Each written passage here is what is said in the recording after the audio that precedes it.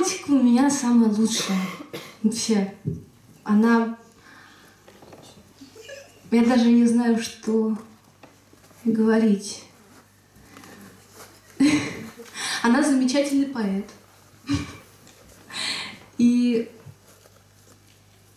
она мне недавно написала стихотворение, ну, посвященное мне.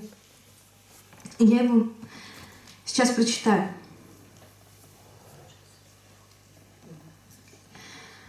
Эта девочка падает в ту же пропасть, как не просила ее на краю задержаться.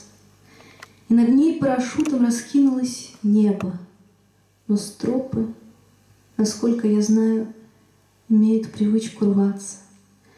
И значит лететь без страховки, снежинкой, снарядом, Путем хорошо мне известным, не раз воспетым. Но я утешаюсь, что падать я буду рядом.